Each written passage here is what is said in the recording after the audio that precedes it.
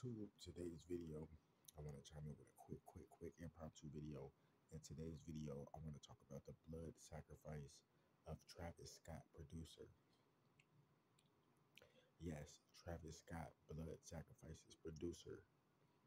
So remember when Travis Scott had that um, that freak accident at that concert in Houston?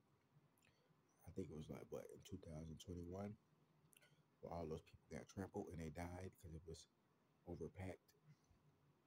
Well, that was a satanic ritual, and all that life force, it ran out, and Travis Scott needed a quick, quick blood sacrifice, so he blood sacrificed his producer. You see what I'm saying?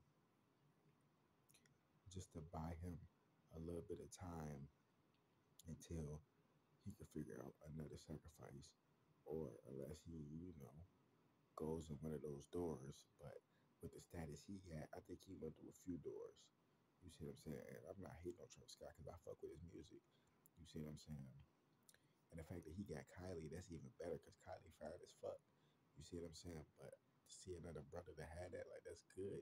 Like that's motivation. But the way that nigga moving, he just moving sloppy, bro. Like and not even just him. I, I can't even just target him. A lot of these niggas in the rap game, they just move sloppy, bro. Like, like come on, man. Y'all gonna say that's not a fight. That's conspiracy. Then nigga, why y'all moving so sloppy?